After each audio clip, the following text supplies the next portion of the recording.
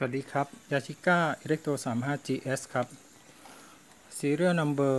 301 62 993 Japan นะครับ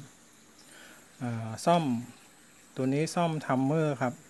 ซ่อมโมดูล เปลี่ยนหลอดไฟนะครับ ก็ทำงานได้ปกตินะครับ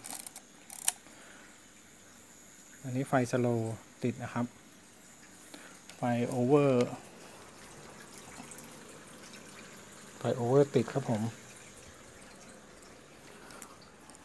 ลองลั่นชัตเตอร์ครับ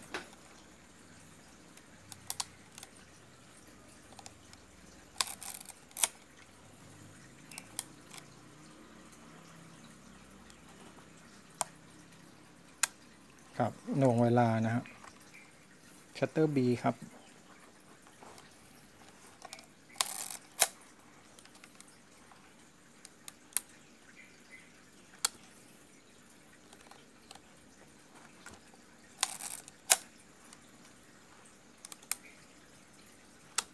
ครับผม นี่เป็นแฟลต